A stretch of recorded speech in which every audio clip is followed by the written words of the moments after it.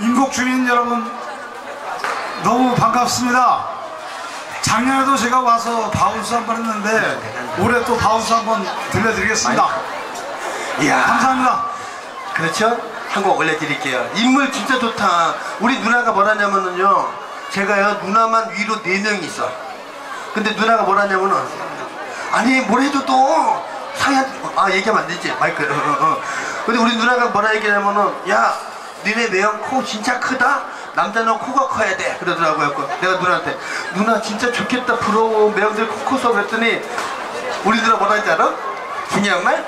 이 새끼야 근데 코로 하는 게 아니잖아 그러더라고요 코크고 뭐하냐? 감사합니다. 하우스 띄워드립니다 박수 한번 부탁드릴게요 박수 좀 쳐주세요.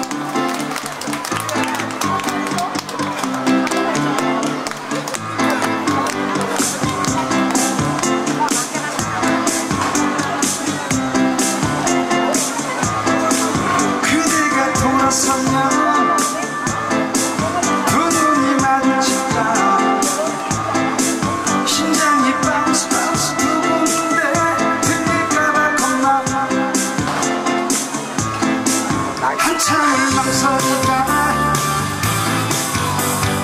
용기